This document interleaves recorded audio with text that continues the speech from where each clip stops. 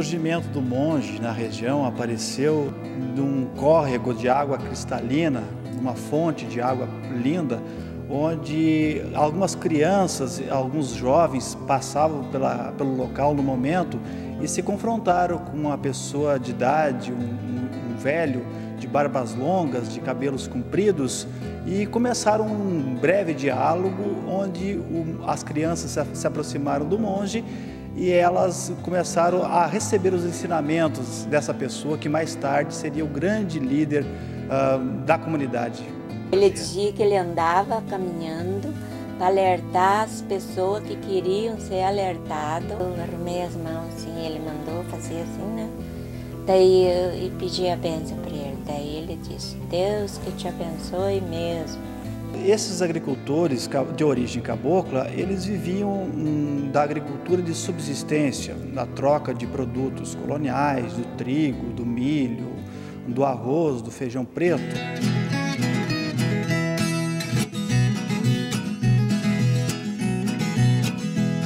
Viola, minha viola, me ajuda nessa empreitada e vamos entrar na luta pra vencer essa parada. Bom dia, compadre. Bom dia, compadre. Trouxe uma semente de milho crioula aí pro compadre. Que bom que trouxe, compadre. Vou plantar logo. Senta, compadre. Vamos prosear um pouco? Não, comadre. Tenho que colher fumo lá pro patrão. Mas então leva a cozinhadinha de arroz pra comadre. Obrigado. Até logo. Até logo. E viviam em si mesmados com a natureza. A natureza fazia parte da sua vida. Vinha vindo de uma de uma casa, de um lugar bastante distante, estava bastante cansado e pediu um, um pouso na casa do, do, Deca França e foi assim que eu surgiu um, uma amizade bastante profunda e a partir daí surge um laço de amizade entre o Deca e o, o, o chamado monge João Maria. Pai, mãe, vi um senhor ali.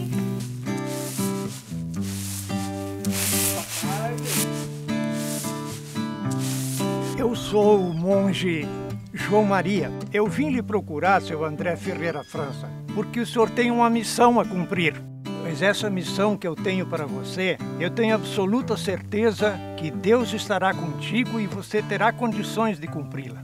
Mas logo eu, um camponês analfabeto, as pessoas virão lhe procurar e vão ficar sabendo que você é um filho querido de Deus.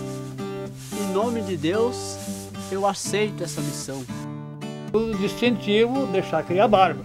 Como a dificuldade na época de, de, dos meios de comunicação era bastante precário, a gente não existia telefone, não existia rádio, não existia jornal, o contato, a, a, a, socialização dessa descoberta, dessa, dessa notícia, passou de boca em boca, de maneira oral, entre as famílias, os vizinhos. Os bodequeiros uh, tiveram uma função, eles entram na história no sentido de que eles se veem ameaçados do seu processo econômico, da sua lucratividade.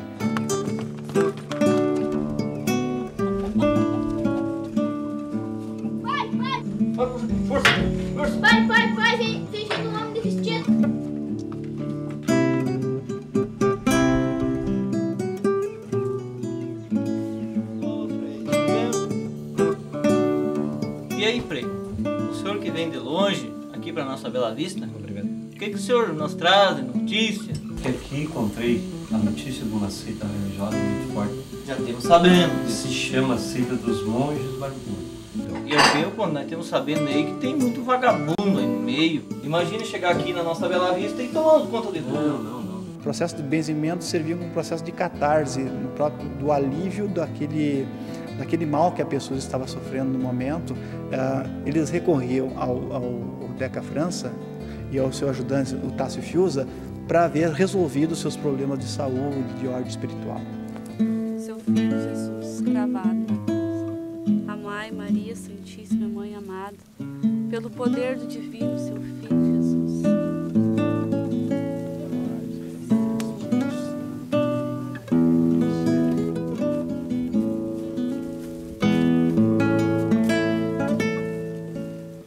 dia, seu Deca. Bom dia. Eu sou o seu Anastácio Fiuza. Vim trazer minha mulher, o senhor Benzer. Ela está muito doente, muito adoentada. O que, que tem, sua senhora? Estou desenganada pelos médicos da cidade.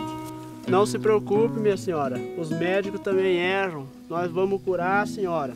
Se achegue.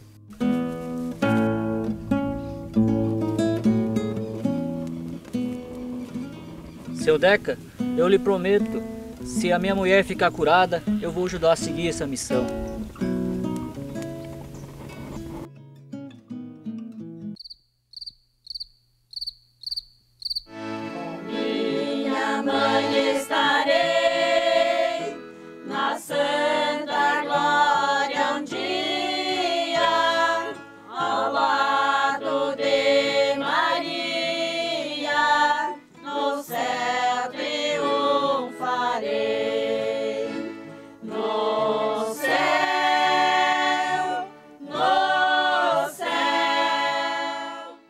Isso é bastante comum porque as pessoas não vivem apenas no espiritual.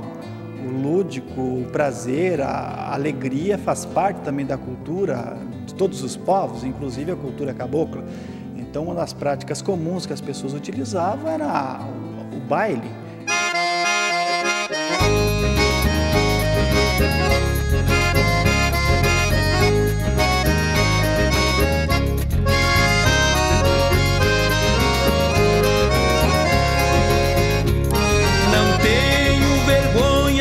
Dizer que sou um pequeno agricultor. Os grandes precisam saber. Os bailes iniciava com a dança, música normal, conforme se usa. Eu mesmo dancei até uma guria no baile. E essa gente saiu, por exemplo, no rio, tomar banho. Então chegavam na água, primeira coisa, se ajoelhavam, se benziam. né?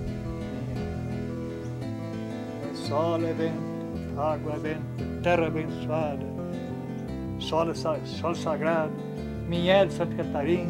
Tá? Ó Deus dos rios, nossa mãe, Maria das águas, em Romaria viemos agradecer por tanta vida O sol que nasce é dessas vertentes. A terra o é sangue abençoada. claro das fontes. A água é abençoada. A caminhada desse dia especial da Romaria, da Semana Santa de 1938, foi, foi fantástica porque mobilizou toda a região. Romeiros da terra que deixam seus lares, juntando bagagens, carregam seus sonhos e em procissão.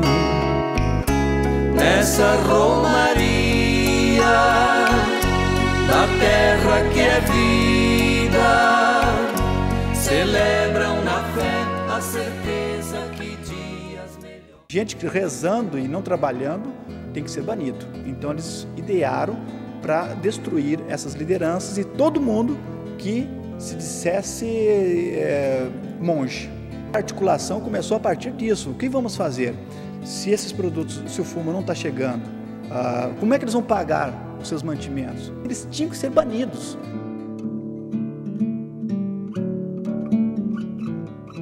Patrão, o senhor sabia que tá cheio de barbudo por aí? Não quero saber, eu quero saber da compra de fumo hoje. Patrão, os barbudos estão chegando por aí, o que, é que eu faço? Pega essa arma e chama a polícia.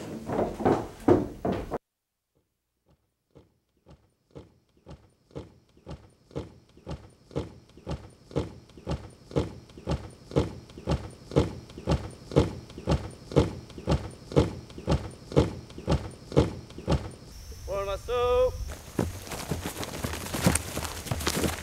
É aqui, seu delegado! É aqui sim, seu capitão!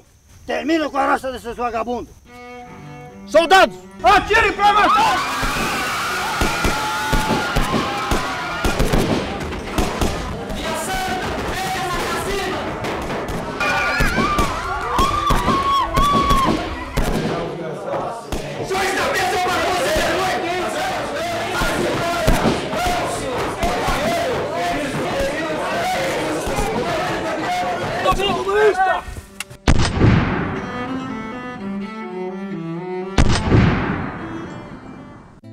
O dia trágico ah, foi de uma covardia imensa, no intuito de que os integrantes do movimento eles não tinham nenhum tipo de arma junto consigo. Os depoimentos que nós colhemos são depoimentos que as pessoas muitas vezes não tinham nem um canivete.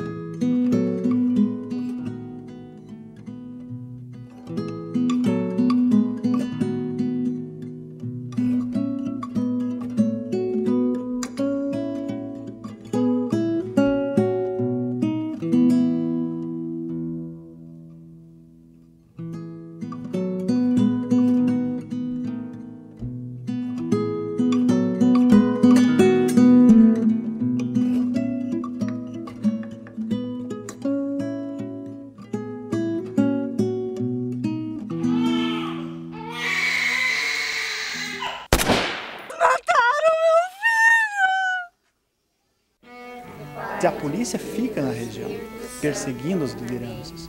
Confronto da polícia no velório do Tássio Fiuza. E de todos que estiverem contra mim. Que seus ouvidos não me ouçam, que seus olhos não me enxerguem, que sua boca não se abra para falar contra mim, que suas pernas não me alcancem, que seus braços não se levantem para me dar bordoadas, que suas armas neguem contra mim que meus inimigos e inimigas não tenham valor. Amém.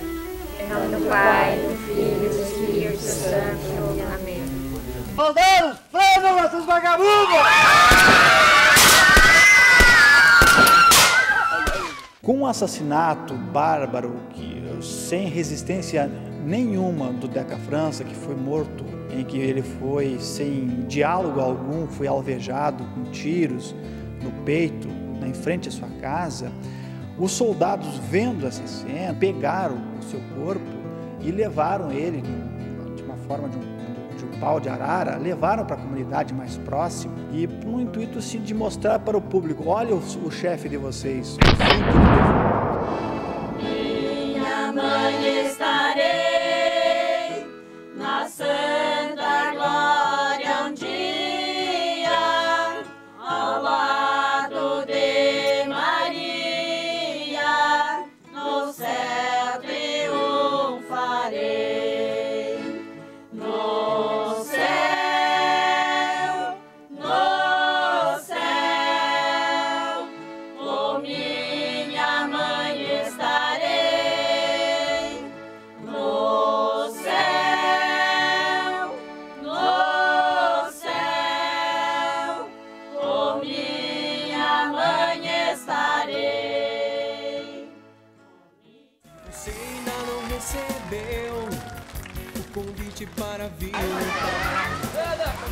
Juntos vão, nossa liberdade pode estar.